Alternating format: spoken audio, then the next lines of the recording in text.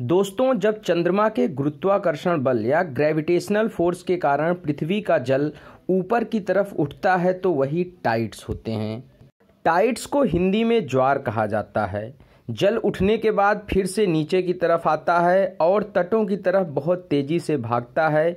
इस प्रकार लौटने को भाटा या एब कहा जाता है। मित्रों क्या आपको पता है कि भारत में हाई टाइड्स या सबसे उच्च ज्वार कहाँ आते हैं?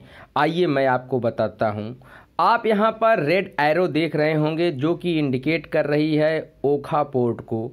यह ओखा पोर्ट गुजरात में है गल्फ ऑफ़ कच्छ में या कच्छ की खाड़ी में। यहाँ पर चंद्रमा के गुरुत्वाकर्षण बल के कारण जल बहुत ज़्यादा ऊंचाई पर उठता है। मतलब कि जो नॉर्मल सामान्य तल होता है, उससे लगभग चार से पाँच मीटर ऊंचाई पर जल उठता है और इस तरह इंडिया में यहाँ पर हाई टाइड्स ऑब्ज़र्व किए जाते हैं।